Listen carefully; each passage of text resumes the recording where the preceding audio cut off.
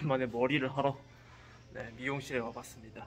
여기가 제가 자주 오는 곳인데 한번 예, 오- 노키도 원래 자주 놀러 왔던 곳이라서 한번 같이 와봤어요. 네, 바로 들어가겠습니다. 안녕하세요. 안녕하세요. 아까 6시 그 예약했던 아, 네, 알겠습니다. 우산 어디다 꽂죠? 아, 여기.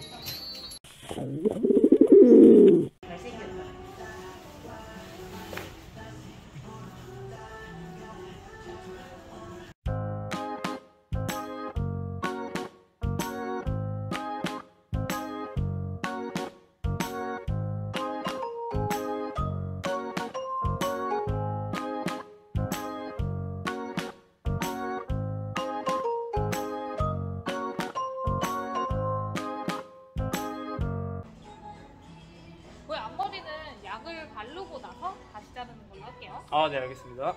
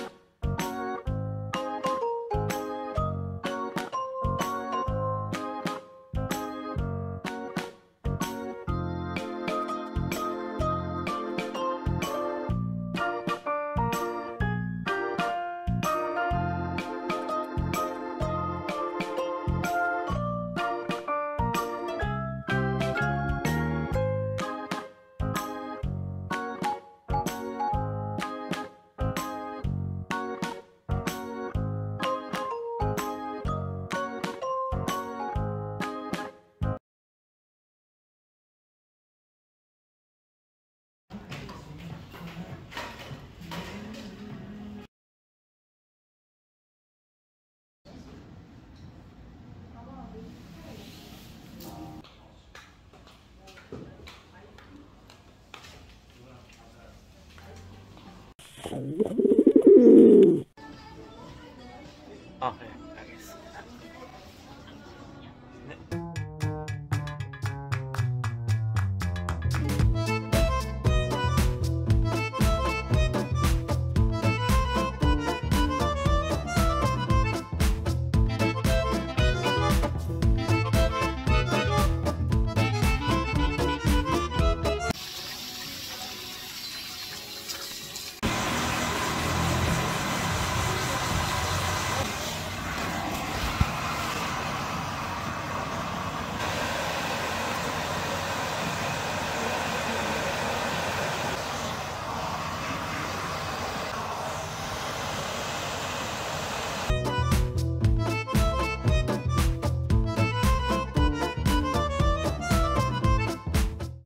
You.